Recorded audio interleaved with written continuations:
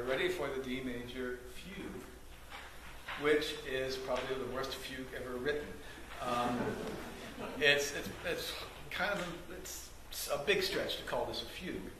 Um, the last time we hear the fugue subject is here. You'll notice I didn't even bother the color is like colorizing the subject because the subject is not particularly important. What, this is the last time we heard the subject. This entire last part of the piece doesn't have any real subjects. Well, does it mean it's a bad piece? No, I think it's a fantastic piece. In fact, I think that's what I love about this, this music is that Bach is interested in writing the best fugue he can write. He's interested in writing a piece that takes the material that bursts onto the scene and, and makes it the most extraordinary experience he can make for the listener. Um, and what's extraordinary about this is the subject itself, um, sort of the uh, model for melodic ideas, at least going back to the Renaissance, is that things start kind of slow and they pick up energy as they progress. Obviously, this is not that. This is a fugue subject that starts out with an explosion.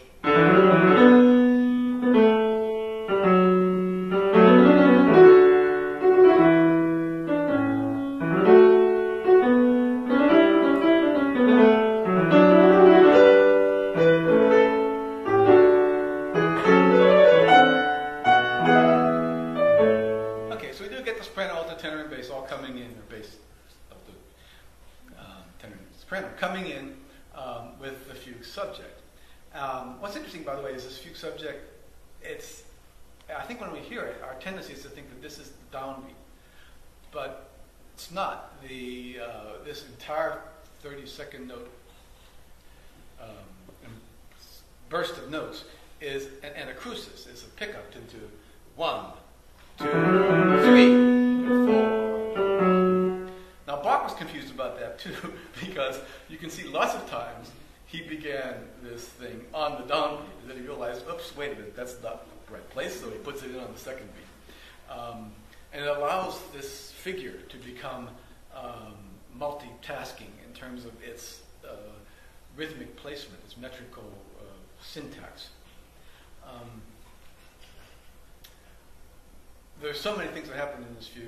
Uh, maybe I'll uh, sort of of the main thing, The most interesting thing, and this purple to me means really interesting, um, is this departure from the texture uh, that sounds. I hear this, I think of the Sanctus from the B minor Mass or something. It's, it's definitely not contrapuntal music, and it's, it's more about sound harmony and, and just a sort of glorious high range of the instrument. Um, and that section starts here. Uh, I made this red because for future reference, you might remember that high note was a B. And this is one of the places where the uh, fast stuff begins on the downbeat. And now that begins all these sections with this opening of the fugue subject, but in the wrong place, metrically.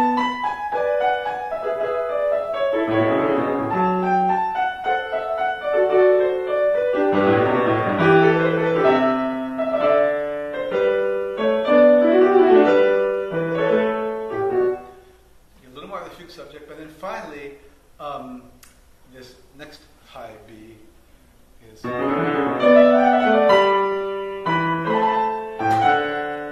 leads us into the key of G major, um, and we have a very strong cadence in E minor. Okay, this is where the fugue gets interesting. I'm kind of skipping ahead because this is this purple material that we heard up in the high range and we heard it twice. It's so much like Bach to take something like that, turn it upside down on itself, and then do it more. Nolly's doing it four times in this section of the piece, three times in a row. Between the third and fourth time, the 30 second note burst gets blown through all of the voices, finally topping out on that high B. One, well, not the last time because we have one more high B waiting for us.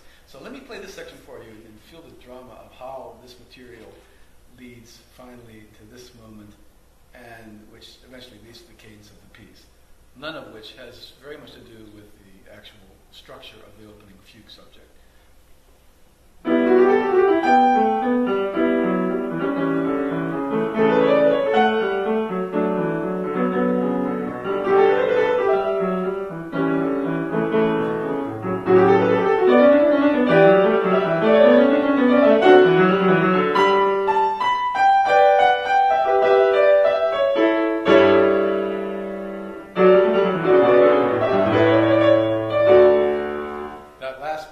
Second notes has really nothing to do with the shape at the beginning.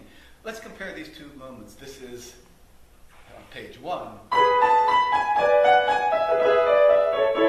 and on page two.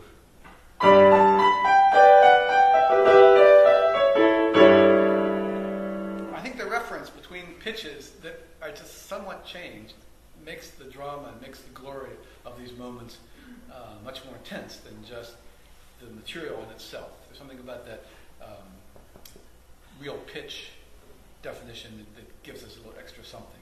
And finally, the fugue ends with um, this 30 second note material on top of itself, sequenced.